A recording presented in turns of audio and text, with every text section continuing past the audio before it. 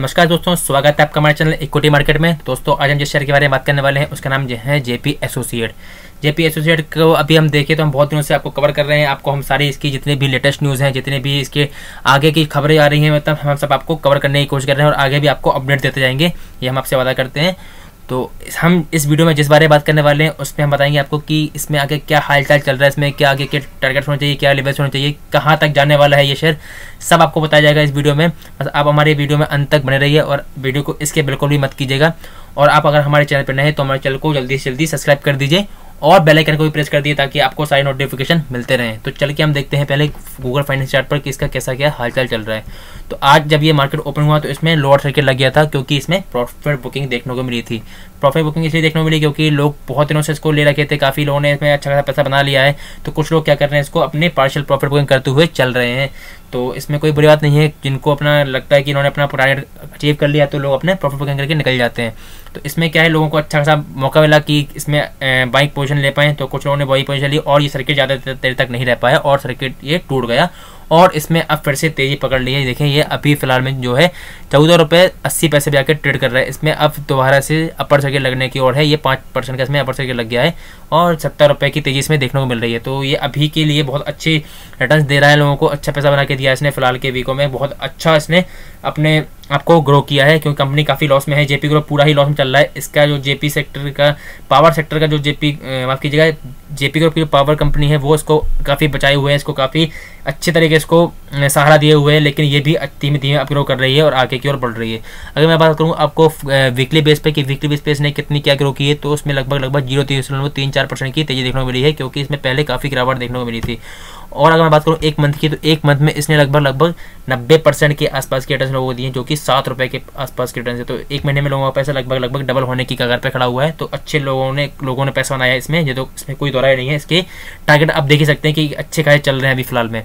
अगर मैं बात करूँ कि कि इसके चार्ट पे क्या हालचाल चल रहा है चार्ट पर हम चल के आपको दिखाएँ तो इसमें बहुत अच्छी तेज़ी आई थी। इस लेवल के बाद से इसने जो बढ़ना चालू किया था, ये जो हमारा लेवल था लगभग लगभग नौ रुपये के आसपास का तो ये रुकने का नाम नहीं ले रहा है। इस लेवल से इसने, ये जो हमारा लेवल है, ये हमें पच्चीस मई को बनाया था इसने, सात रुपये के, सात रुपये सत्तर पैसे के आसपास का।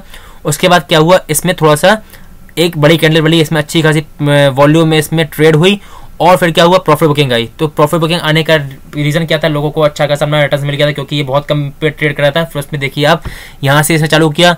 ये करीब दस मई को सात रुपये के आसपास के यहाँ पे लोगों ने प्रॉफिट बुकिंग की, फिर ये गिरना चालू हुआ। फिर क्या हुआ? एकदम से इसमें तेज़ी आई।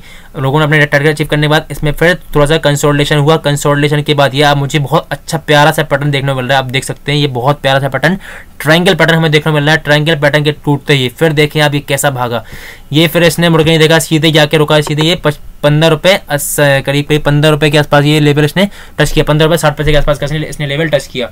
और फिर क्या हुआ, इसमें अब दोबारा इससे अब प्रॉफिट बुकिंग देखने को मिली। है प्रॉफिट बुकिंग देखने को मिली तो अब इसमें आगे का क्या होना चाहिए, मैं आपको बताऊँ इसमें आगे थोड़ा सा प्रॉफिट बुकिंग का थोड़ा सा कंसोलिडेशन का आपको देखने को मिल सकता है। क्योंकि जो ये पहले भी हो चुका है, क्योंकि ये इसके पहले भी, लगभग ये नौ रुपये तीस पैसे से लेके आठ रुपये आठ रुपये सात रुपये के बीच में एक रुपये की रेंज में पहले भी कंसोलिडेशन दे चुका है, एक बार नहीं, दो तीन बार। तो दो तीन बार ये कंसोलिडेशन का इसमें सिलसिला रहा है तो आगे भी इसमें ऐसा ही होने वाला है, क्योंकि कोई शेयर इतना ज़्यादा अच्छा बढ़ जाए एकदम से, जो कि मतलब एक महीने आप खुद देखें कि एक महीने में इसने रुपया डबल कर दिया लोगों का। तो इतनी तय तेज़ी तो ऑब्वियस बात है कि थोड़ा प्रॉफिट बुकिंग आना बनती थी। वो प्रॉफिट बुकिंग आई लोग, लोगों ने अपना पैसा बनाया करेक्शन अब लेना चालू कर रहा है इस शेयर ने करेक्शन लेने के बाद अब फिर से ये शेयर ऊपर जाने वाला है।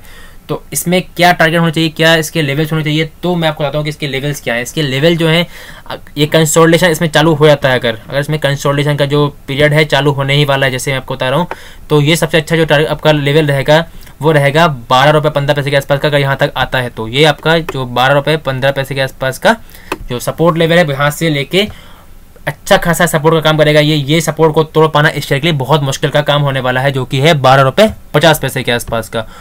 और अगर ये उसको लेवल को तोड़ देता है तो अगर इसमें फिर से बोलता हूँ आपको, अगर इस लेवल को तोड़ देता है, जो कि है बारह रुपये पचास पैसे का तो अच्छा सपोर्ट काम कौन करने वाला है? नौ रुपये तीस पैसे के आसपास का। इस सपोर्ट को तोड़ पाना तो नामुमकिन की तरह है, क्योंकि अगर ये सपोर्ट को तोड़ता है, फिर आप समझ जाइए कि बहुत ज़्यादा गिरावट आने वाली है, फिर बहुत ज़्यादा पैनिक हो जाएँगे लोग। फिर ये बहुत ज़्यादा नीचे जाने वाला है, फिर तो इसमें कुछ नहीं कर सकते।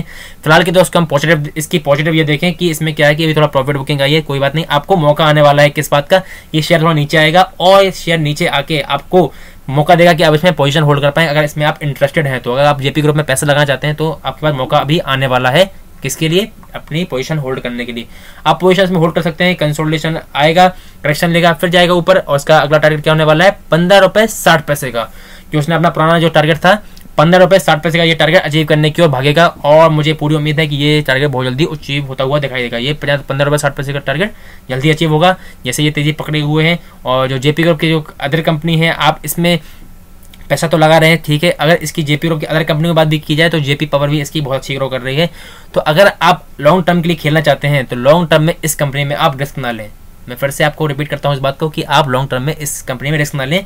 लॉन्ग टर्म के लिए आप इसकी जेपी ग्रुप की पावर कंपनी में थोड़ा भरोसा कर सकते हैं क्योंकि लॉन्ग टर्म के लिए कंपनी अभी जेपी एसोसिएट नहीं है, क्योंकि काफ़ी ज़्यादा लॉस में चल रही है। इस कंपनी जेपी ग्रुप को बहुत ज़्यादा थोड़ा सा धक्का दिया था, काफ़ी ज़्यादा इसने लॉस दिला दिया था कंपनी को। तो इसके लिए मैं यही बोलूँगा कि आप इसमें अगर आपने ठीक ठाक में रुपया कमा लिया है अच्छा खासा प्रॉफिट आपने कमा लिया है, अगर आपने नीचे के लेवल पे, मान लीजिए सात रुपये के लेवल पे या छः रुपये के लेवल पे आपने बाई किया था और ये आपके टारगेट को दे चुका है तो आप इसमें पार्शियल प्रॉफिट बुकिंग करते हुए चलें और दोबारा जब ये नीचे आए, दोबारा नीचे आए तो इसमें आप दोबारा पोजीशन होल्ड कर सकते हैं। तो ये फिर क्या होगा कि आपको डबल प्रॉफिट देगा और आप बहुत सारा पैसा इसमें कमा सकते हैं। तो मेरे यही सलाह है आपसे कि इसमें अभी आप फ्यूचर में ज़्यादा भरोसा ना करें।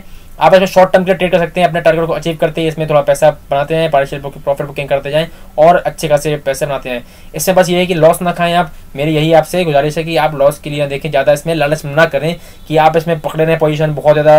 आपका पैसा कम है और आप लालच में आ जाए कि मेरे पैसा जो है तो इतने मेरे पास दस हज़ार रुपये बीस हज़ार रुपये हैं और मैं इसको तीस हज़ार, चालीस हज़ार, पचास हज़ार बना लूँ।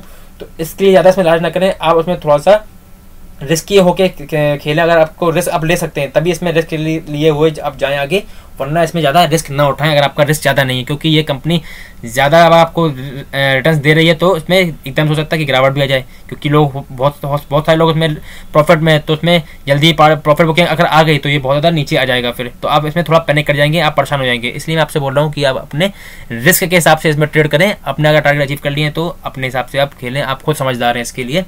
और अपने फाइनेंशियल एडवाइजर की सलाह ज़रूर लें, इसके अपने पैसे लगाने से पहले। तो दोस्तों, यहीं तक तक था हमारा वीडियो, अगर आपको हमारा वीडियो अच्छा लगा हो तो हमारे वीडियो को लाइक कर दीजिए।